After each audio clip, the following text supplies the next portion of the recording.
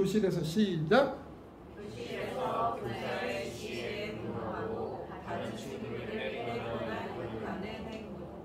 이건 뭐 교장 선생님이 가능하시면 되지. 학교 폭력과 관련된 건데요. 에, 이 영상을 에, 영상 좀 클릭해 주시겠어요? 예, 모르는 척 예, 저가 제가 가진 영상 초등 선생님들께 꼭 소개시켜드리고 싶은 영상 두 개가 있어요. 이건 왕따에 관한 내용인데, 네, 꼭 보시면 이거 이거는 3월 초에 보시면 더 좋고 지금이라도 어, 폭력성이 있는 아이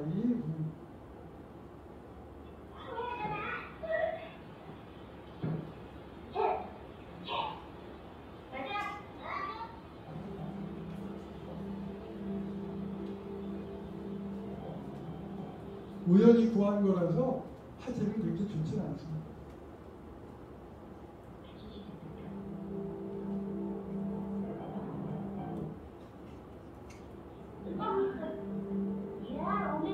야, 너 있는 거냐? 시간은 다 끝났다고? 나 아직 다못 그렸는데. 그림은 우리가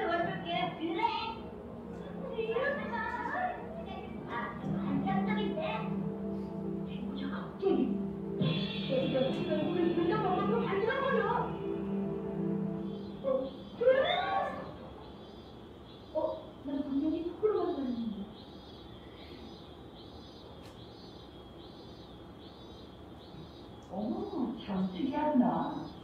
맹구는 아무 말도 안 했다. 그래서 우리도 여섯 개를 그랬다고 말하지 못했다.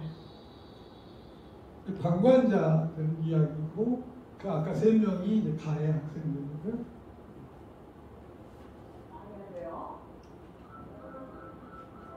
뭘 말봐? 친구를 괴롭히는 건 당연히 나쁜 짓이지만 그걸 가만히 놔두는 주위 사람들도 똑같이 나쁘다고 생각해요. 그럼 어떡하라고요? 여자들이 저렇게 도끼를 째려보고 있는데 근데 불길한 일은 저렇게 교문 밖에서 녀석들이 날 기다리고 있었다. 네가 일러바친 거지? 일은 뭘? 아, 미두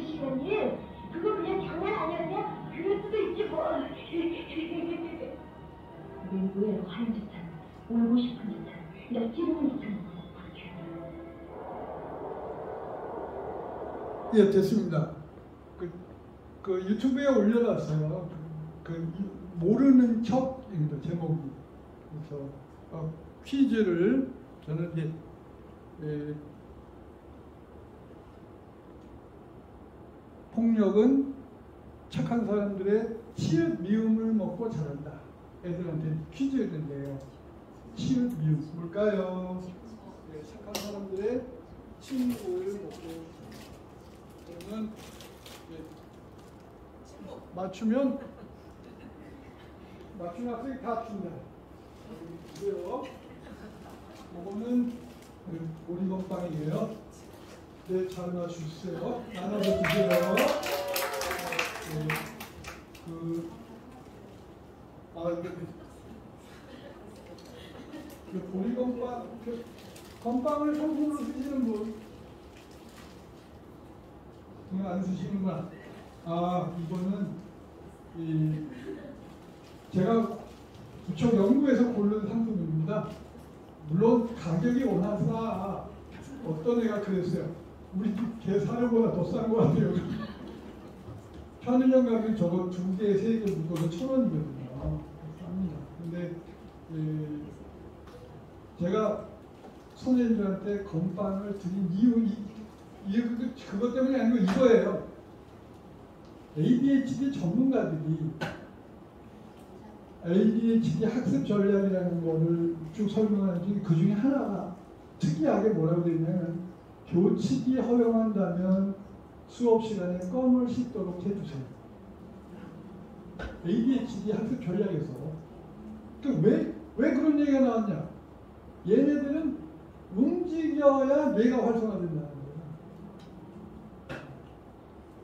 그렇죠. 그래서 근데 껌을 주니까 이 녀석들이 껌 먹고 이렇게 아무데나. 이 책상 의자 밑에. 그래서 껌과 유사한 것을 찾다가 씹는데 한참 걸리는 건빵을 선택합니다. 그래서 만약에 상품을 쓰신다면 건빵 괜찮습니다. 그리고 저거를 이렇게 제가 애들한테